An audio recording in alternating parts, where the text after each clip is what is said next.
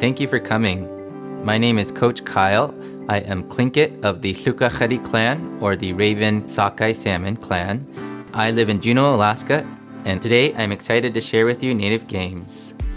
The Native Youth Olympics is a fun sport based on survival and hunting skills needed to live a healthy and fit life. These games were originally created by the Inupiaq people up north in the Arctic. However, today we play the games in schools across Alaska, Canada, and Greenland. The origins of the games go back hundreds of years. Long ago and still today, people hunt and gather from the land and sea. These games were played by hunters during the long winter to keep healthy and fit. This allowed the hunters to be successful in the hunt, travel long distances, and carry heavy loads.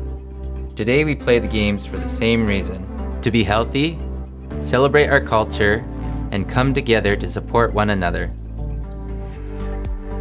Before we play the games, let's warm up.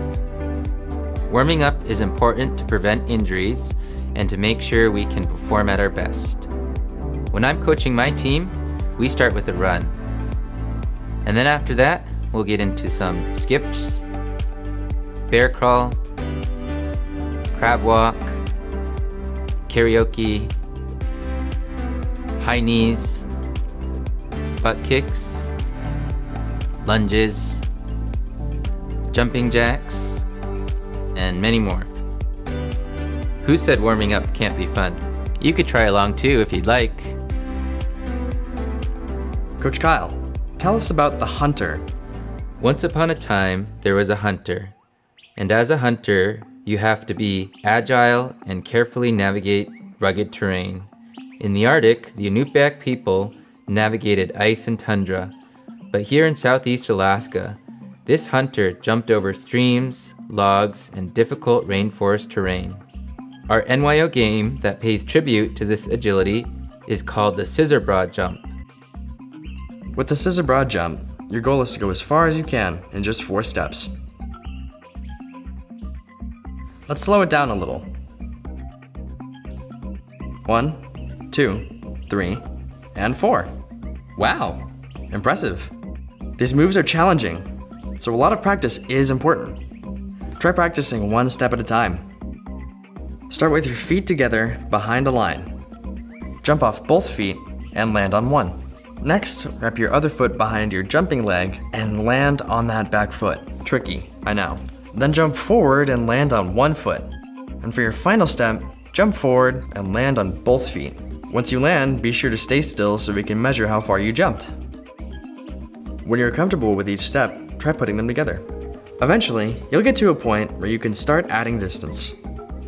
Coach Kyle, let's get back to the story. After many hours, the hunter finally spotted a deer. The hunter positioned himself tactfully and quietly raised his bow, and the hunt came to an end. Animals are large and awkward to lift, pull, and carry. It was important to stay healthy and strong leading up to the hunt. The work was intense, so the hunter used their strength to lift the deer from the ground. This move is the inspiration behind the NYO game, the Inuit stick pull. I'll take it from here, Coach Kyle. For the Inuit stick pull, two athletes sit facing each other, with the soles of their feet together and legs bent at a 90 degree angle. Both athletes position their hands on the stick, one with their hands in the middle and the other on the outside. Then the stick is centered above the athlete's toes. The official makes sure the stick is in the center, then, with the signal, marks the start of the competition. The goal is to pull the stick from your opponent or lift them off the floor. The game is played best 2 out of 3 matches, so once again, the players line up for their second match. Ready? In the second match, the players oh. switch hand positions. In the tiebreaker round, players flip a coin or play rock, paper, scissors to determine hand placement.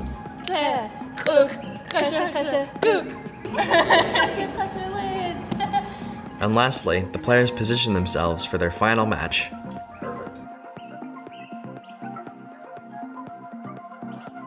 Ready? Pull. A congratulations can be given to the winner. Let's talk about a few things that players cannot do during this competition. For starters, players cannot jerk the stick, and if their hands start to slip, players cannot reposition their hands oh. or twist their bodies. Give it a try with a friend.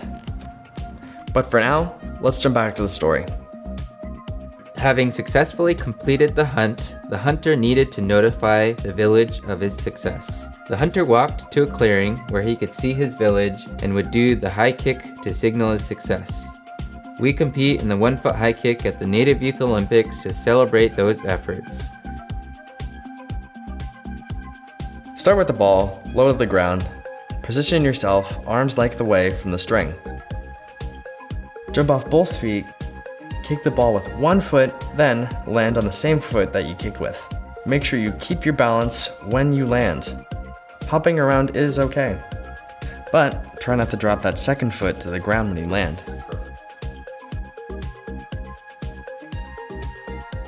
If you fall over while you're practicing, get back up and try again. Each time you successfully kick the ball, raise it just a few inches and reposition yourself for another kick. Some athletes add a step or two to their approach to add momentum to their jump.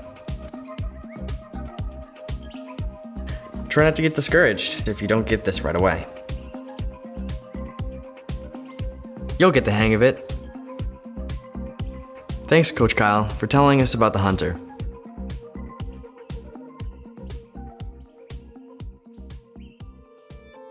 My favorite part about native games is sportsmanship. Sportsmanship is about supporting and teaching others. Our hunters and communities work together to be successful.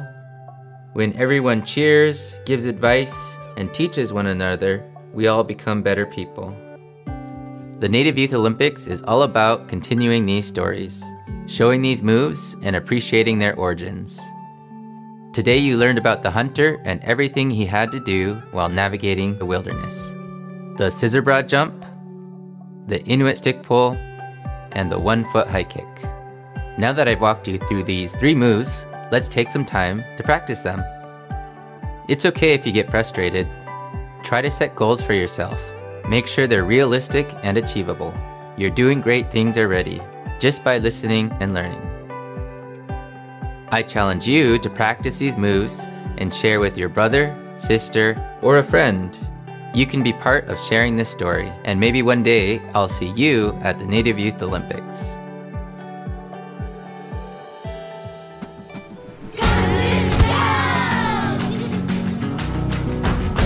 Gunalchéesh, Coach Kyle.